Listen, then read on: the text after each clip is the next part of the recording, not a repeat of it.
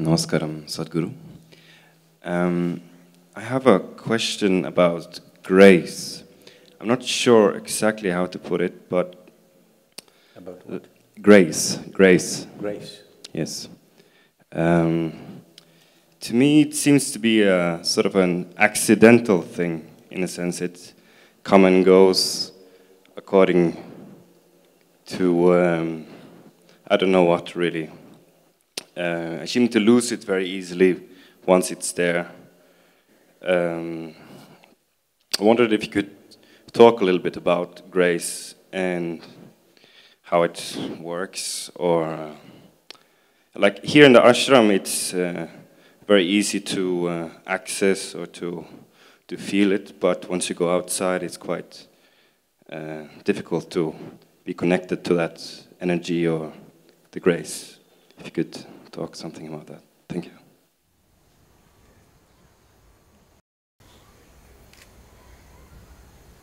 You're asking me to talk about the fragrance of this flower. How to do that? Only if you have a sensitive nose. Fantastic. Otherwise, somebody has got their nose stuffy today. Means nothing. So,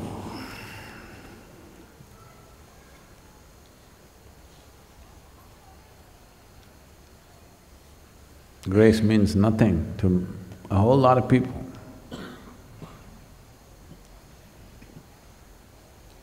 They don't even… It's not that you have to think about it or you have to talk about it. It is just that if you're too full of yourself, only if you're too full of yourself, you can be unconscious of grace. In the sense, You don't even have to go to school and know about planets and solar system and galaxies and stuff. Just as a human being, if you look up, you don't know where this begins, where this ends, in the middle of nowhere. Here you are sitting on a planet spinning and see, you're fine. Definitely not your doing, isn't it? Definitely you can't do this. Whatever is holding all this up,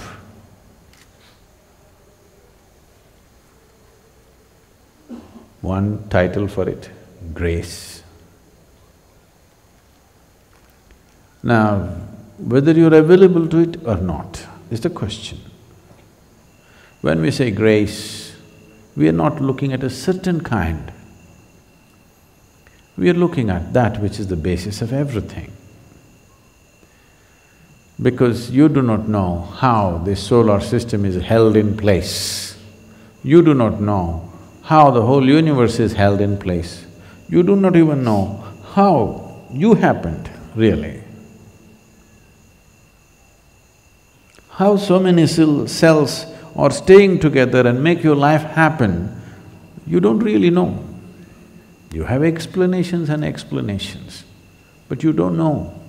If you knew, you would create one right now. If you knew exactly how, we would make it, isn't it? So, when there is so much that you do not know everything is still happening great, obviously, it's not an accident. So whatever is making all this happen, that energy, that force, we call it grace. But now the question is about making yourself available. If you have a stuffy nose, the flower means nothing to you. If you're blind, light means nothing to you. If you're insensitive, nothing means anything to you. So, it is a question of becoming sensitive. Most people are ego-sensitive. They're not life-sensitive. right now, you have to be cautious about what to say and what not to say to a whole lot of people because they're horribly ego-sensitive. For everything, they will crash within themselves. First of all, you create one illusion. Then you create another illusion of it falling and rising. It's a very bad game. You must be disillusioned soon. If you're truly disillusioned, absolutely, you will always be available to grace. If you have no illusions of your own, you will wonder about everything. How can you not wonder? About everything, about your very existence. If you have no conclusions in your mind about anything, simply here, you will be soaked in grace. Even now you are, but you cannot enjoy it unless you're conscious, that's all. It will not work for you because you are not conscious. It is working for you, but still you cannot fully benefit from that. See, it is a fact, a medically established fact.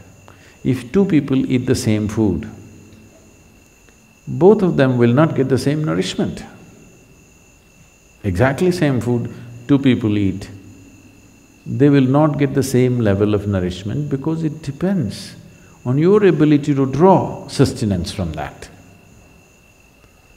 So to develop this capability, all of us are in grace, but to develop the capability to draw sustenance from that, so that this life becomes an expression of that grace. See, uh, you know, if you have smelled this flower, this is typical to southern India. Phenomenally fragrant. You think our garden department is pouring fragrance at the roots? No, they're putting filth, believe me. Yes. Even if you put filth, see how fantastic it became, because that's its nature. Because it does that, we are planting that tree, nurturing it, taking care of it, everybody is concerned how it is growing. Suppose it was giving out a smell that was unpleasant to you. Suppose it just took the filth and threw out the filth through the flower, no, we would have taken it out, isn't it? So grace brings many benefits. Once you're exuding grace, everybody wants to nurture it, everybody wants to promote it, everybody wants to be a part of it because you're exuding grace. Now, the question is not at all about whether you're in grace or not. You are, otherwise you cannot exist. The question is only about, are you exuding grace or are you transforming this into something nasty and letting it out on everybody? Let me tell you a very well-known story in India. It's a folklore. Just about everybody in the country should know this story probably. There was a sage living in the jungle, blind of vision, he has no vision, simply sitting in one place. Rarely people pass this way, when they pass this way, they give him something and he lives by that. No vision. One day it so happened, the king and his retinue of soldiers and ministers, whatever, they all went out hunting. In the hunt, in chasing a deer, a spotted deer, they lost their way and the king got lost, separated from the group because you know the king has the fastest horse the best one he rides. So, he went away ahead of them and got lost. They were all searching, searching, they all got lost. And then the soldier came and asked the sage, did you see the king? He said, no. Then a commander came and asked, did you see? He said, no. Then the minister came and asked, did you see? No. Then the king himself came there. Then the blind sage immediately recognized he is the king. Oh, your people have been looking for you. First the so your soldier came, then your commander came, then your minister came. The king observed and saw that the person was blind. And then he asked,